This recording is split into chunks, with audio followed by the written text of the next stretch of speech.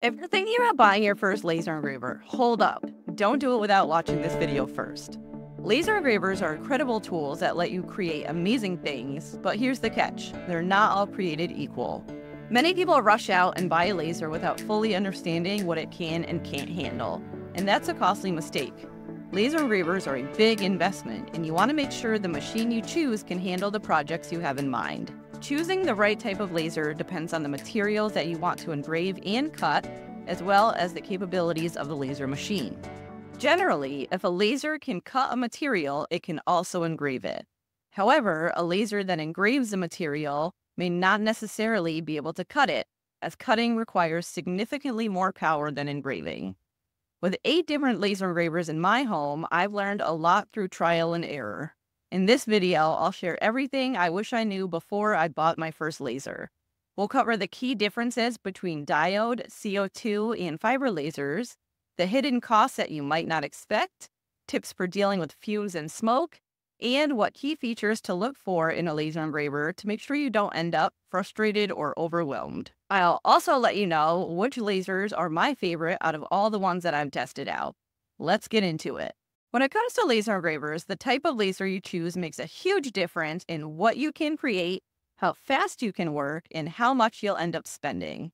Diode laser engravers, CO2 laser engravers, and fiber laser engravers are the three types of laser engravers used by most people. Let's break down the pros and cons of these three main types and compare their costs so you know exactly what you're getting into. Diode lasers are the most affordable entry into laser engraving. Here's why they might be right or wrong for you. Let's talk about the pros first. Diode lasers are cost effective. They typically range from 300 to 2500, making them great for beginners or hobbyists who want to experiment without a huge upfront investment. Keep in mind that the lower end of that price range is typically for just the machine, and there are a ton of add-ons that you can buy that brings up that price a lot. You'll learn more about that in a few minutes. Diode lasers are small, lightweight, and easy to set up in a home or small workspace. I was able to get my WeCreat and xTool lasers unboxed and set up in under an hour, and I use them in the spare bedroom in my house. There's no need for heavy duty ventilation or a dedicated shop space. They do require ventilation, which we'll get more into detail about soon, but nothing crazy. Diode lasers work great at engraving wood, leather, and coated metals like powder-coated tumblers. They can also cut thin materials like paper and thin sheets of basswood. Now for the cons. Diode lasers struggle with cutting through anything thicker than about 3 to 5 millimeters, especially hardwoods and acrylics.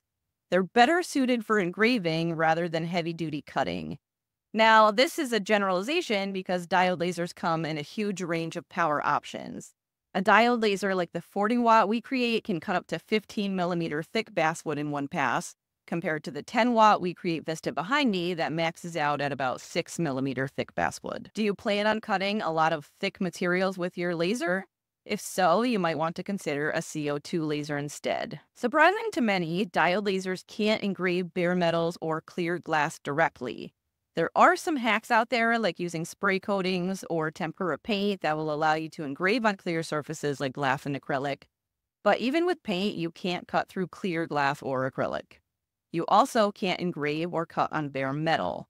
If it has a coating on it, it will engrave through the coating like you see on the tumblers behind me, revealing the metal underneath. Diode lasers work slower compared to CO2 and fiber lasers. For detailed full projects like full wrap tumblers, you might be waiting up to 45 minutes or more for complex designs. A diode laser with more power like the 40 watt WeCreat Vision will speed things along a lot faster than a 10 watt laser will. A higher wattage allows you to cut through thicker materials and at faster speeds. Which diode laser would I recommend? It's hard to recommend just one type of diode laser because I love several. I love all of my WeCreat lasers because they're super versatile. The 40 watt Vision is powerful enough to cut through thick materials and engrave super fast. It also rises automatically, so you don't need aftermarket riser bases, and it's compatible with a 2 watt infrared laser that allows you to engrave those shiny metal materials like jewelry. The xTool M1 Ultra is another great choice. I love this laser because it's basically a Cricut, a laser, and an inkjet printer all in one. I love how you can print colors out on your wood and then have your laser cut it out. You can make fun, detailed projects without having to deal with the mess of painting. Diode lasers are a great low cost option for getting started, but as your projects get more complex, you might find their limitations frustrating. If you're mainly focused on wood and leather crafts, they're perfect, but for serious cutting or engraving on bare metal, you'll need to look at CO2 or fiber options. Now let's talk about CO2 lasers. CO2 laser engravers are more powerful and capable of cutting and engraving a wider variety of material compared to diode lasers. With optical power ranging from 40 watts to 300 watts, CO2 lasers are highly effective for handling a broader range of cutting and engraving tasks. CO2 lasers are the workhorses of the laser world, and here's why. A CO2 laser can cut through wood, plywood, MDF, all colors of acrylic, foam, paper, cardboard, leather, various plastics, fabric, and rubber. It can engrave materials such as all colors of acrylic, wood, plywood, MDF, leather, plastics, fabric, rubber, brick, ceramic, bone, and coated metals. They generally have more power and can complete projects faster than diode lasers. They cut through thicker materials with fewer passes, saving you time. One of the biggest perks of CO2 lasers is their ability to engrave directly onto glass in clear acrylic without hacks or extra coatings. The xTool P2 CO2 laser can cut and engrave on clear acrylic. However, it cannot cut metal or glass, but it can engrave on it. The cons CO2 lasers are expensive. These lasers start at around $2,000 and can go up to 10,000 or more for larger, more powerful models. They're a bigger financial commitment and need a lot more space. CO2 lasers are large and produce a lot of smoke, so you'll need proper ventilation like a fume extractor or a venting system. There's a lot more maintenance cost involved with CO2 lasers too.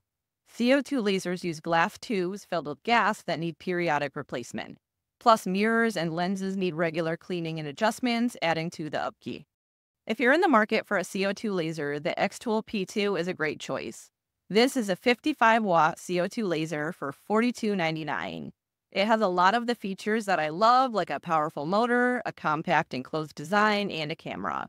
It can cut through materials three times quicker compared to a diode laser. CO2 lasers are pricier, but their versatility and speed make them worth it if you plan on expanding your projects. Just keep in mind the initial cost and ongoing maintenance. Now for fiber lasers. Fiber lasers are the kings of metal engraving and are great for industrial engraving.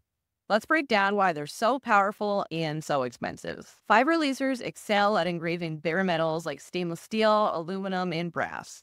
They're incredibly precise and fast, perfect for more detailed metalwork. They're also low maintenance. They have no mirrors or glass tubes to maintain, making them easier to keep in top shape compared to CO2 lasers. They also have a longer lifespan. Fiber lasers often run tens of thousands of hours without major issues, offering a longer operational lifespan. The cons, they're extremely expensive. Really good fiber lasers start at around $10,000 and can easily reach $30,000 or more. They're best for businesses that need to engrave a lot of metal. Fiber lasers are great for metal, but not suitable for wood, acrylic, or glass. If you want versatility, this isn't your best bet. Fiber lasers are a significant investment, but their precision and speed for metal make them unmatched.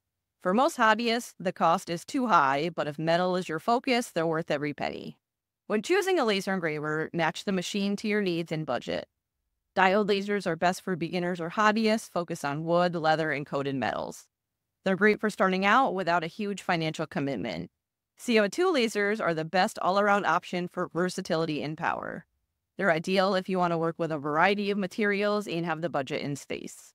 And fiber lasers are perfect for businesses focused on metal engraving. They're high cost, but unmatched power for precision in metalwork. Knowing these pros and cons helps you make an informed decision that fits your projects and goals. Buying a laser engraver isn't just about the machine itself. Here are some hidden costs that you might not realize when you're starting out. Many engravers require extras like rotary attachments for tumblers or riser bases for taller projects. These aren't always included and can add up quickly. For example, the xTool M1 is only $799. But if you want to engrave large objects like tumblers, first you'll need to rise up the machine with a riser base, which is currently $144. Then you'll need the rotary attachment, which is another $242. If you want the air assist to blow away debris from your project while engraving, that's another $122 add on. That's why most of these types of lasers are sold in bundles, and you get a much better deal on these add ons when you buy them in a bundle. but knowing which accessories you'll actually need will help you figure out how much you can actually plan on spending. Blanks and materials also add up too. You'll need practice materials, and trust me, you're going to mess up at the beginning. But don't be discouraged. Trial and error is part of the process. One mistake that I made early on was not securing lightweight items like leather patches to my laser bed. Without taping them down with thermal tape, they moved too much during engraving, which ruined the project.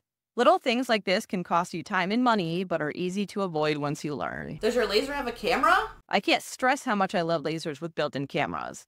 A camera shows a live picture of your material on the software so you can drag and drop your design exactly where you want it.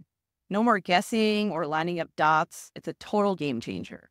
Now let's talk about fumes. Laser engravers burn through materials, which creates smoke. Without proper ventilation, your house will stink and it's not good for your lungs. If you live in an apartment or close to neighbors, you'll need to manage this carefully. So here are some ventilation tips. You can vent it out a window or use a fume extractor or add a booster fan to pull smoke out faster. Enclosed lasers contain the smoke better, but open lasers need extra attention. With an enclosed laser like this, you can use it in your house, but an open laser, you'll probably want to keep it in your garage with the doors wide open. If you've never used a laser engraver before, you might be surprised to see your finished project looking black and sooty instead of shiny and perfect. Don't panic, this is normal. The laser burns material, creating smoke marks, but there's an easy fix. I love using magic erasers to clean up my projects. Air Assist, which blows smoke away from your design, can also keep things cleaner. Some machines include it, others sell it separately. Another thing you might not be aware of is that laser engraving is very time consuming. Laser engraving can take a lot of time, especially with lower powered machines like diodes. A detailed tumbler wrap might take 45 minutes or more, and you can't just press start and walk away from your machine. I never leave my laser unattended because fires can and do happen. Staying nearby can make all of the difference in preventing disasters. Another thing to consider is the laser spot size and intricacy. The laser spot size matters, especially for small detailed engravings. A smaller spot means more precise designs, like using a fine tip pen versus a marker. This is key when working on intricate pieces like jewelry or keychains or photos. Another thing to consider, tech support challenges.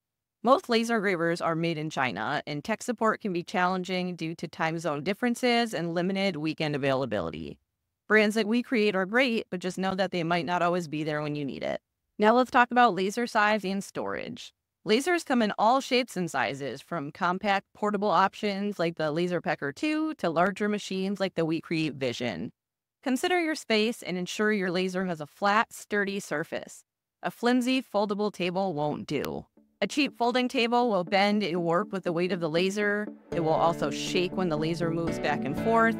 You have to have a good, solid table. So what do I look for in a laser? I want a camera for easy alignment, an enclosed design for smoke control, speed to save time, and versatility to handle various projects. Knowing what features matter most to you will help you make the right choice and avoid buyer's remorse. If you want to learn more about some of my favorite laser engravers, I have tons of videos on my channel. If you found this video helpful, hit that like button and subscribe for more laser engraving tips and tutorials. Got questions or your own experiences to share? Drop them in the comments. I'd love to hear from you. Thanks for watching, and I'll see you in the next one.